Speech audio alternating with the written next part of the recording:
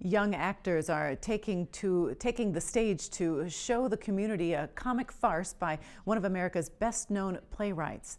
The Marquette Senior High School Drama Club is staging the play Rumors at Kaufman Auditorium. It's by legendary writer Neil Simon, but Rumors is not one of his better-known works. I like the fast pace, um, how fast paced it is, and uh, the the comedy. I mean, it's really good comedy and stuff. And uh, I mean, the writing's really good. There's, I mean, there's not like huge plot twists, but like the the writing's nice. Rumors is about a chaotic chain of events surrounding the hosts of a dinner party and their guests. It has some adult content and language, but the original script is toned down a bit.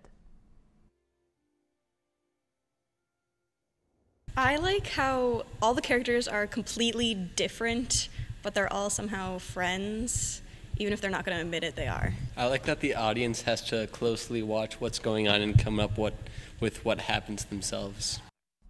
The performances are tonight, Friday, and Saturday at 7 o'clock each evening. Tickets are $12 for adults, $8 for students and seniors, and the tickets are for sale at the door and at all NMU EZ Ticket outlets.